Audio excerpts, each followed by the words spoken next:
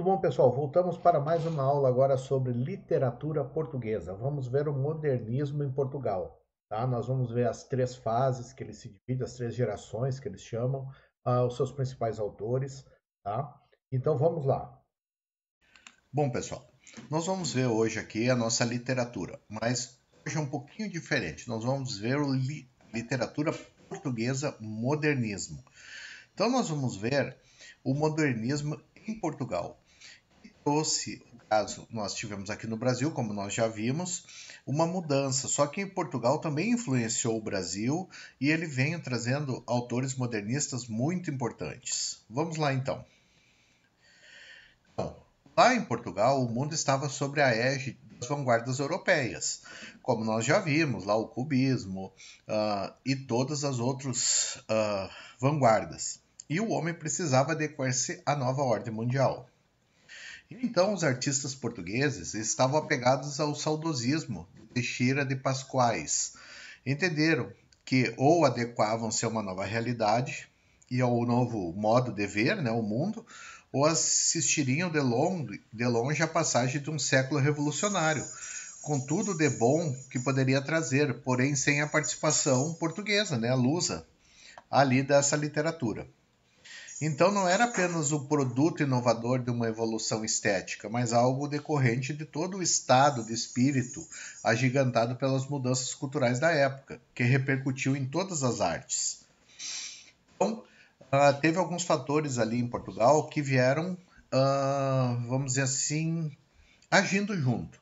Uma crise na monarquia, o ultimato inglês, né, de 11 de janeiro de 1890, uma crise econômica grande em Portugal, então, o resultado estético disso aí foi o saudosismo, o sentimento, ideia, né, emoção refletida de 1910, a revista Águia de 1910 a 1932, a revista Orfeu, que pregava um inconformismo e punha as atividades poéticas acima de tudo, de 1915. Então, nós também tivemos em Portugal essa mudança, uh, vamos dizer, uh, essa nova visão da literatura, tá? Então, quais são as grandes características do modernismo português?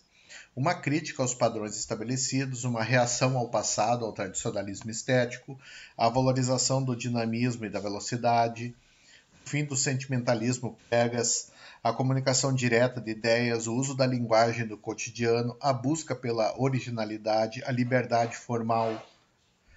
Então, aqui eu vou ter alguns autores e algumas gerações, tá? Uh, na primeira geração desse modernismo português, o orfismo, que ele foi chamado, nós vamos ter Fernando Pessoa, Mário de Sá Carneiro, Almada Negreiros, Florbela Spunk e outros. Já a segunda geração é presenci... presencismo. É José Régio, Miguel Torga, João Gaspar Simões, Branquinho da Fonseca e outros. Então, a revista Portugal Futurista, publicada em 1917, e apreendida logo pela polícia, contou com grandes nomes do modernismo e ela foi um marco incontornável do movimento futurista português. Então aqui nós temos o que? A, a, capa dessa revista e Almada Negreiros ali, o primeiro conferencista futurista em Portugal, tá? Uh, e nós tivemos uma terceira geração, neorrealismo, com Alves Redol, uh, Ferreira de Castro, Jorge de Sena José Saramago e outros. Esse movimento uh, modernista, né, português, uh, nessa primeira geração é o orfismo, tá? Ele vem de Orfeu. Nosso primeiro poeta aqui dessa primeira geração é Mário de Sá Carneiro. A sua poesia é marcada pela manifestação de sensações depressivas, né, tendendo para o derrotismo e o pessimismo o poeta ele mergulha em seu próprio mundo interior, realizando uma constante busca do eu. Tá? Uh, a sua poesia, aqui nós temos dispersão, perdi-me dentro de mim, porque eu era labirinto. E hoje, quando me sinto, e com saudades de mim. Passei pela minha vida, um astro doido a, sonhar. Na ânsia de ultrapassar, nem dei pela minha vida. Para mim é sempre ontem, não tenho amanhã nem hoje. O tempo que outros que aos outros foge, cai sobre mim feito ontem. Então a gente tem essa nova poesia. José de Almada Negreiros. Uh, ele nasceu em 1893 em São Tomé e Príncipe, estudou no Colégio Jesuíta de Campolide, uh, para onde, onde entrou em 1900, aos sete anos de idade. Ao, uh, aí realizou os jornais manuscritos República, Mundo e Pátria. Ele frequentou de 10 a 11, de 1910 a 1911, o Liceu de Coimbra, e onde ele passou para a Escola Nacional das Belas Artes em Lisboa. Tá? Ele integrou, ele passou a fazer parte do grupo Orfeu em 1915, tá? mostrando-se convicto de que Portugal há de abrir os olhos num dia. Lançou em 1917 o Ultimato Futurista às Gerações Portuguesas do século XX. Então, de 1919 a 1920, ele retornou aos estudos de pintura em Paris. Em 27, né, a par da sua atitude nas artes plásticas, colaborou com a imprensa. Ele é conhecido como Mestre Alma Colaborou nas revistas de vanguarda Orfeu, Contemporânea, Atena, Portugal Futurista e Sudoeste. Então aqui nós temos o que? Ah, o manifesto, né, que ele fez parte, os poemas dele, Meninos de Olhos de Gigante, A Cena do Ódio. Então ele vem trazendo uh, uma série de textos críticos e polêmicos, tá? Onde ele ele dispersou essa sua ideia nas publicações, tá? E a sua principal, caso, obra uh, é o Manifesto Anti-Dantes. Uh, a pintura, ele tem isso também, essa síntese modernista e futurista da sua capacidade de fusão e conjunção, tá? Nas letras e nas pinturas, das vertentes plásticas, gráficas e poéticas. Roma Negreiros faleceu em 1970 Tá? E de, 70, de 1970 a 1988 foram publicadas duas edições de obras completas de Almada Negreiros, comemorando o caso o último centenário do autor. Uh, foi uma das grandes figuras da cultura portuguesa do século XX. Artisticamente ativo né, ao longo de toda sua vida, o seu valor foi reconhecido por inúmeros prêmios. Tá? Fernando Pessoa. Esse é o cara português. E aqui nós vamos ver: o valor das coisas não está no tempo que elas duram, mas na intensidade com que acontece. Por isso, existem momentos inesquecíveis, coisas inexplicáveis e pessoas incomparáveis. Então, essa biografia foi escrita por ele mesmo. Se depois de eu morrer quiser escrever a minha biografia, não há nada mais simples. Tem só duas datas, a da minha nascença e da minha morte. Entre uma e outra, todos os dias são meus. Fernando Pessoa nasceu em Lisboa em 13 de junho de 1888 e morreu na mesma cidade em 30 de novembro de 1935. Ele foi poeta e escritor. Atuou, atuou também como jornalista eh, na publicidade e no comércio. Aqui está uh, o Museu Fernando Pessoa, em Portugal. Então, ele viveu parte de sua adolescência na África do Sul. Na literatura, desdobrou-se em diversos heterônimos, ele trabalha com heterônimos. Era considerado bruxo por uns e louco por outros. Era conhecido como um poeta dramático, ter a capacidade de transformar-se em muitos outros eus, para mesmo fingindo dizer o que sentia. Para a maioria dos críticos, o modernismo português tem como marco inicial a publicação em 1915 da revista Orfeu. Não tendo, não tenho a pretensão de que todas as pessoas que gosto gostem de mim, nem, nem que eu faça a falta que elas me fazem. O importante para mim é saber que eu, em algum momento, fui insubstituível e que nesse momento será inesquecível. O homem é do tamanho dos sonhos. O homem é do tamanho do seu sonho. Pedras no caminho? Guardo todas. Um dia eu vou construir um castelo. Conhece alguém as fronteiras da sua alma para que possa dizer eu sou eu? A vida prejudica a expressão da vida. Se eu vivesse um grande amor, nunca o poderia contar. Essas são algumas frases ditas por Fernando Pessoa que se tornaram marcantes. Os heterônimos. Olha o que ele fala sobre essa criação dele. Criei em mim várias personalidades, crio personalidades constantemente. Cada sonho meu é imediatamente, logo ao aparecer sonhado. encarnado numa outra pessoa, que passa a sonhá-lo, e eu não. Para criar, destruí-me, tanto me exteriorizei dentro de mim, que dentro de mim não existo senão exteriormente. Sou a cena viva, onde passam vários atores representando várias peças. Bernardo Soares. Livro do Desassossego. Ele fala sobre esses heterônimos dele.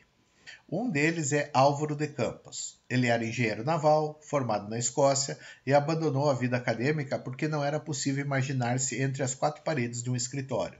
Era um homem do futuro, o legítimo homem do século XX, das fábricas, da luz elétrica, que cultuava a velocidade da vida, do tempo e das máquinas.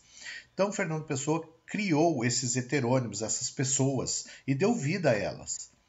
Ricardo Reis era médico, nascido em Porto em 19 de setembro de 1887, que se apresentava como latinista e monárquico. A finitude humana passa a ser um tema constante de suas obras. Alberto Caeiro, filósofo de instrução primária, nasceu em Lisboa em 16 de abril de 1889 e viveu no campo em companhia de uma tia até o fim da vida, quando morreu de tuberculose em 1915. É considerado o mestre dos outros heterônimos. É dele a frase: Os meus pensamentos são todos sensações. Então, Fernando Pessoa criou esses heterônimos e deu vida a eles. Então, as publicações saíram com o nome desses heterônimos. Uma poesia ortonima. A poesia ortonima de Fernando Pessoa deve ser dividida em duas fases: poesia saudosista, nacionalista e poesia lírica. Sua poesia ortonômina foi profundamente influenciada por doutrinas filosóficas, teosofia e sociedades secretas, a maçonaria. A poesia dessa fase é tomada por um caráter místico, de tom épico beirando o trágico. A vida é analisada sobre o olhar racionalista e múltiplo da filosofia oriental. Para ser grande, ser inteiro, nada tu exagerar ou exclui. Se toda em cada coisa, põe quantos é, nomine o que fazes, assim que em cada lago a, a lua toda brilha, porque alta vive. Autopsicografia. O poeta é um fingidor. Finge tão completamente que chega a fingir que é dor a dor que devera sente.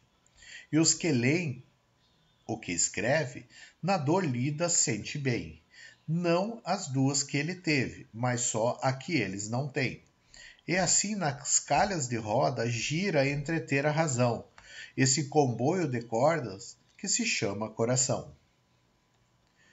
Então, esse modernismo português, tá, interregno, entre o, entre o, primeiro e o segundo momento do modernismo, tá? o orfismo e o presencismo, considera-se um intervalo, chamado pela crítica de interregno, no qual dois autores cultivaram uma obra de caráter praticamente independente, que, embora não apresentasse grandes vínculos com a tendência da época, né, refletia os valores culturais do início do século, principalmente os, os decadentistas e os simbolistas. São eles Flor Bela Espanca na poesia e Aquilino Ribeiro na prosa. Então, eles vêm trazendo uma literatura um pouco diferente.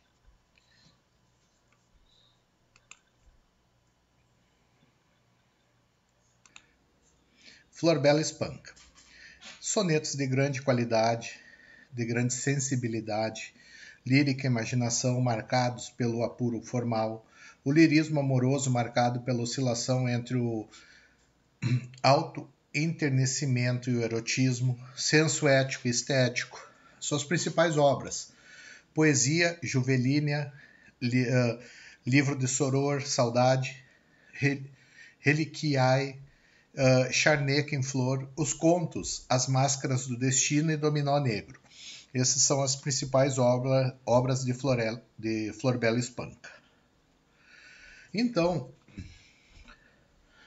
a poesia dela ela era dominada por um forte impulso erótico.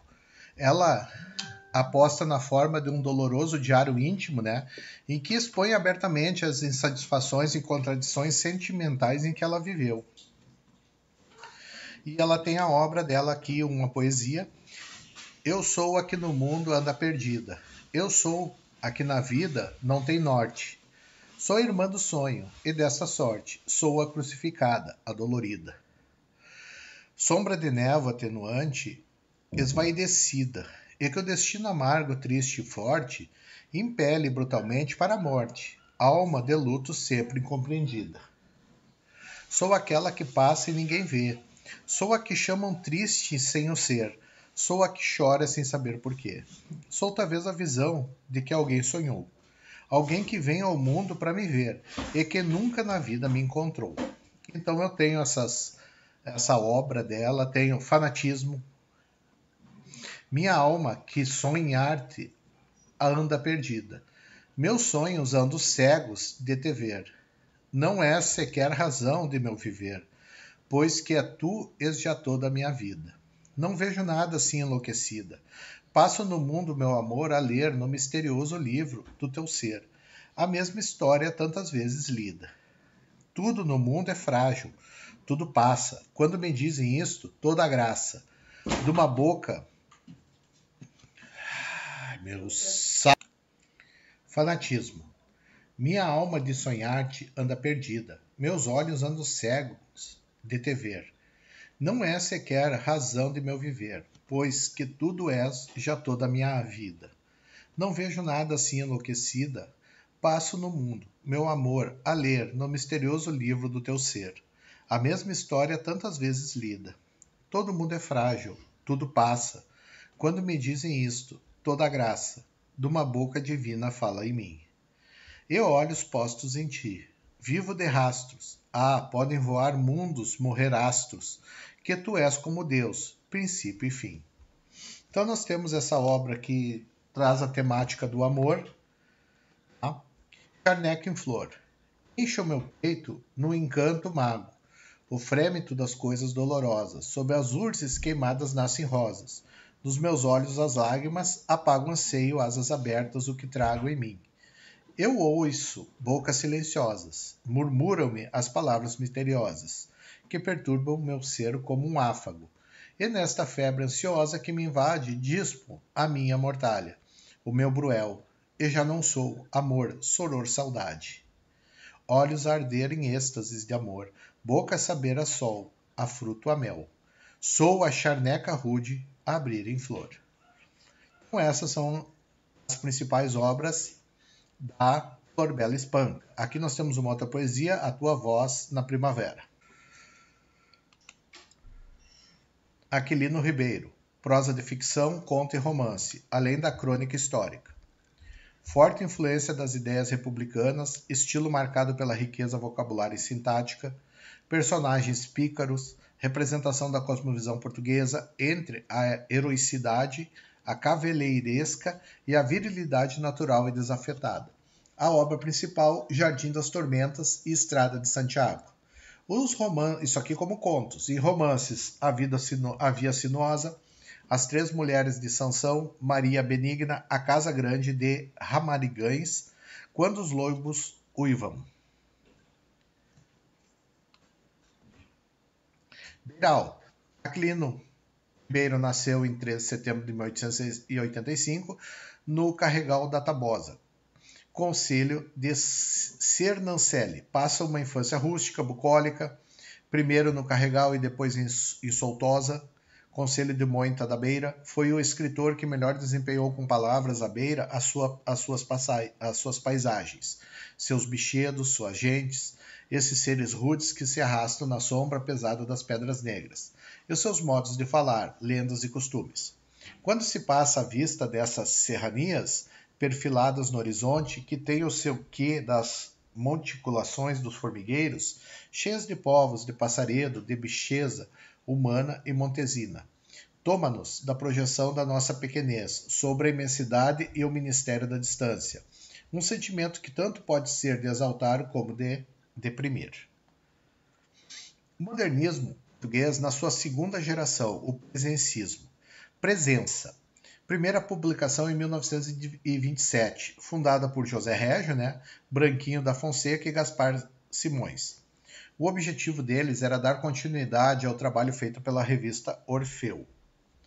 Esse presencismo, a presença, ela é integrada por aqueles que ficaram de fora do orfismo e fundaram a revista Presença. Buscavam sem romper com as ideias da geração anterior, mas somente que aprofundar em Portugal a discussão sobre a teoria da literatura e sobre as novas formas de expressões que, que continuavam surgindo no mundo. José Régio nasceu no seio de uma família burguesa, em 17 de setembro de 1901, em Via do Conde. E lá ele viveu a sua infância, até o quinto ano do liceu, Uh, em jovem, publicou os primeiros poemas nos jornais, o Democrático e República. Aos 18 anos, ele foi para Coimbra, onde se licenciou em Filosofia Românica, com a tese As Correntes e as Individualidades no, na Moderna Poesia Portuguesa. Ele lecionou português e francês no Liceu de Porto, até 1928, e a partir desse ano, em Porto Alegre, onde permaneceu quase 40 anos. Durante esses 40 anos, o mesmo reuniu uma extensa e preciosa coleção de antiguidades e de arte sacra alentejas, que vendeu à Câmara Municipal de Porto Alegre, que comprou também o prédio da pensão onde viveu, onde vivera, e a transformou em casa-museu. Hoje em dia, as suas casas em Via do Conde e em Porto Alegre são casas-museu. Em 1927, com Branquinho de Souza e João Gaspar Simões, fundou a revista Presença, que veio marcar o segundo modernismo português, a segunda fase. Escreveu em jornais como a Seara Nova, Ler, O Comércio do Porto e o Diário de Notícias. Em 1966, José Régio reformou-se e voltou para sua casa natal em Via do Conde, continuando a escrever e onde morreu a 22 de dezembro de 1969, vítima de ataque cardíaco. José Régio é considerado um dos grandes criadores da moderna literatura portuguesa. Ele refletiu em toda a sua obra problemáticas relativas ao conflito entre Deus e o homem, o indivíduo e a sociedade.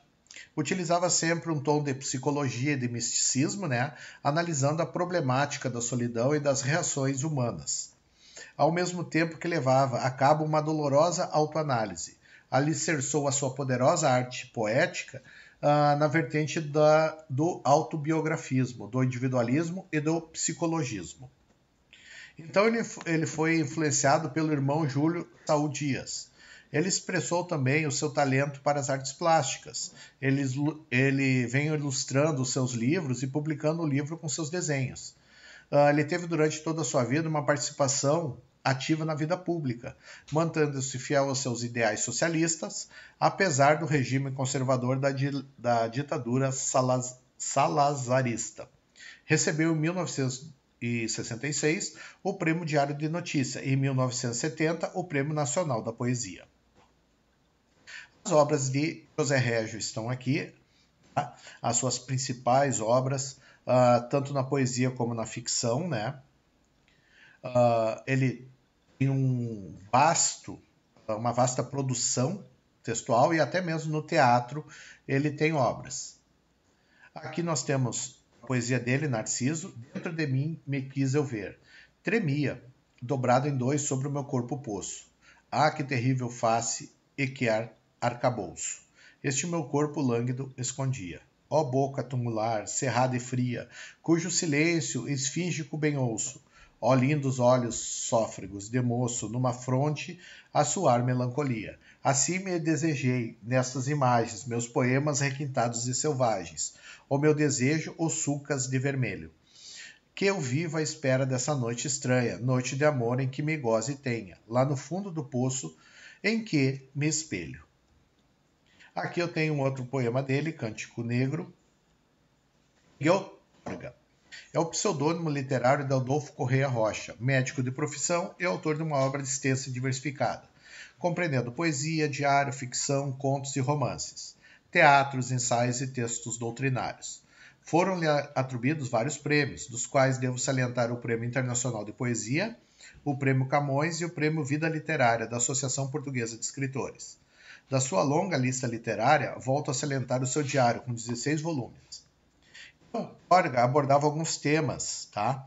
E entre quais nós podemos citar a problemática religiosa, né? A revolta da inocência humana contra a divindade transcendente, o desespero humanista, o sentimento telúrico, né? Relativo à terra, ao solo. Uh, aqui nós temos um poema dele que é Sísifo. Recomeça, se puderes, sem angústia e sem pressa, e nos passos que deres nesse caminho duro, do futuro, dai-os em liberdade, enquanto não alcances. Não, de, não descanses, de nenhum fruto queira sua metade. E nunca, saciado, vai colhendo ilusões sucessivas no palmar, e vendo, acordado, o logro da aventura. És homens, não te esqueças, só é tua loucura, onde com lucidez te reconheças. Vamos agora para a terceira geração modernista, tá? é a geração neorrealismo. Então, Portugal ele vivia um contexto de agitações políticas com o advento do Estado Novo português, né, pautado na censura e repressão sobre o governo totalitário de caráter fascista de Salazar. Diante disso, no final da década de 30, surge um movimento literário neorrealista em Portugal, do qual surgem escritores da segunda geração modernistas empenhados em produzir uma literatura contra o fascismo e, portanto, de caráter social, documental, combativo e reformador. Então ele iniciou na década de 30, surge associado ao movimento de resistência né, democrática à ditadura de Sal, uh, salazariana, uh, assume, quer na poesia, quer na prosa, uma dimensão de intervenção social, crítica social, né, uh, agudizada pelo pós-guerra e pela sedução do sistema socialista, denúncia, uh, ele vai denunciar, né, ele denuncia as injustiças sociais e a repressão política, e apela à consciência da luta de classes, fundando-se nos conflitos sociais, que põe sobretudo as cenas camponesas, né, operários, patrões e senhores da terra, e analisa a forma acutilhante e da, sobre a realidade social. Então, aqui, uh, essa obra, uh, essa vertente, né, obra, eu digo, essas obras que vão vir agora nessa vertente são, são sobre o neorrealismo. Então elas vão ser contra o fascismo, elas defendem uma literatura como crítica e denúncia social, ela é combativa, reformadora, a serviço da sociedade, ela é próxima do realismo do Brasil, tá? O novo realismo para alertar as pessoas e tirá-las da passividade. Aqui eu vou ter Alves Redol, tá? Ele é um escritor português nascido em 1911 na Vila Franca de Xira e falecido em Lisboa em 1969. Ele foi um grande expoente máximo do neorrealismo. Ele introduziu né, o neorrealismo em Portugal com o romance Gaibeus. A sua obra revela uma grande preocupação social, velada, ainda assim, dada a censura e a perseguição política, chegou mesmo a sofrer prisão política, tendo sido torturado. Então aqui estão as obras dele, as principais. Ah, aqui a obra Gaibeus, onde ele vai falando da, desse, desse romance, né? Uh, Gaibeus é o primeiro romance de Alves Redol e foi publicado em 1939.